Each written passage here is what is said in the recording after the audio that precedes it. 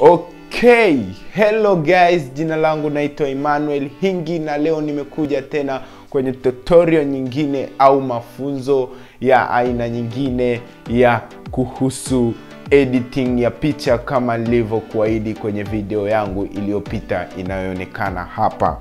Basi mpenzi mtazamaji, leo nimekuja na ile application namba tatu niliyokutajia kwenye video hii hapa na application hiyo nitakwenda kukuonyesha jinsi inavyofanya kazi. Inaitwa airbrush.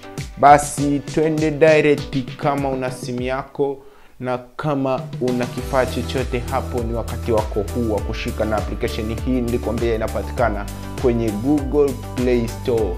Na ukishaipata application hii basi rudi kwenye video hii uanze kunifuatilia twende direct kwenye application hiyo na naamini umeshai download application yenyewe inaonekana kama hii inayoonekana yani logo yake ni hii hapa inaitwa airbrush usisahau hilo.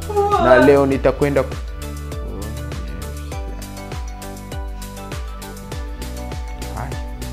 leo nitakwenda kuonyesha application hiyo jinsi inavyofanya kazi basi twende direct na kwenye simu yako kama hivi.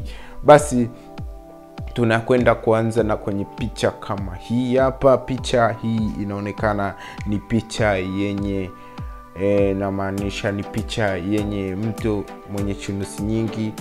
Uh, twende tukaanze kutesti kama sample. Utaanza kuondoa chunusi kama hivi kama hivi inavyokuonyesha.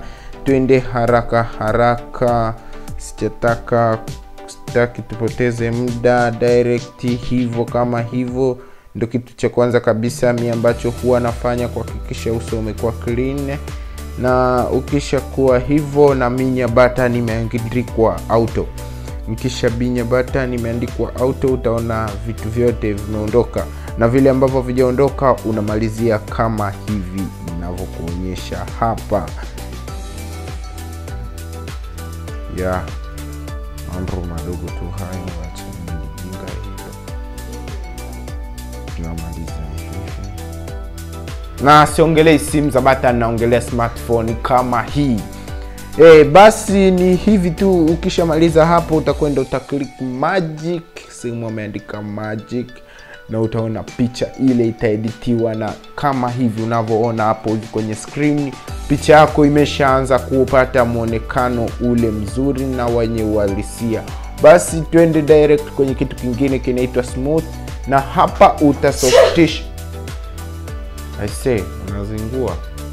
Hapo utasoftisha uso utaweka vipande mbalimbali utaweka vitu mbalimbali. Yeah. Uh, yeah. Ni hivyo tu nadhani picha inaonekana vizuri kwa sasa. Basi twende tukasafishe meno ya huyu dada.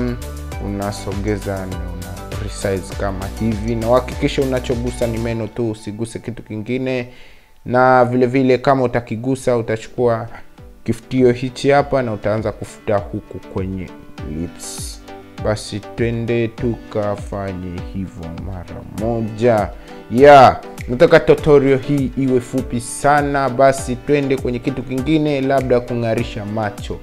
Kung'arisha macho unang'arisha kama hivi. Kisha jicho lako lilakuwa limeng'aa kabisa na lilakuwa limeng'aa kama hivi. Kuna mambo mengi ya kufanya lakini naamini kwamba tutakwenda pamoja na nitazidi kuonyesha. Kama una mengine mengi ya kuniambia basi utayaweka kwenye comment below. Twende kwenye kitu kingine ni kuonyeshe labda kama unataka kuicrop utaminya button ya mwisho kabisa utacrop kama hivyo lakini naona picha yetu ni kubwa kabisa na haina haja ya kucrop. Basi twende direct ni kuonyesha kitu kingine kinaitwa ya Viginet, Viginet. Uh, hii hapa unazungushia huu weusi fulani huku pembeni unakuwa kama effect fulani hivi nzuri sana uh, yeah. tuingie direct kwenye makeup hii na hii ni special kwa wadada namaanisha wakaka mnaweza mkatumia hii kwa uchache uwezi ukaweka nyusi mkaka huwezi ukaweka labda makeup usoni na ni mara chache sana unaweza ukatumia hii kama wewe ni mkaka. Basi kwenye application yetu hapa utaona kuna hichi kidole kimechorwa hapa pembeni kiguse. Alafu kama ni kuondoa kitu utaondoa. Mi nimeona hii brush haijakaa vizuri. Ngoja niondoe chapchap hivyo unaweza ukaajasti kama unaona jicho hili alijafiti vizuri una adjust kama hivyo ya yeah, ni mambo kama hayo. Na basi turudi nyuma tuone picha yetu itakuwa imekuwaje.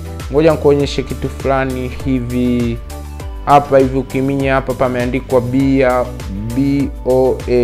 ukiminya hapa utaona picha ilivyokuwa kabla na ilivyokuwa sasa na naamini picha hii imekuwa nzuri na inapendeza kwa kweli. Hata ukiupload na naamini watu wengi watashangaa skills basi mpaka hapo mi sina la ziada la kuendelea. Niseme tu asante kwa wewe ambaye una umetazama video hii na naamini umejifunza mengi lakini kama una cha kuongezea chochote andika kwenye komenti hapo chini.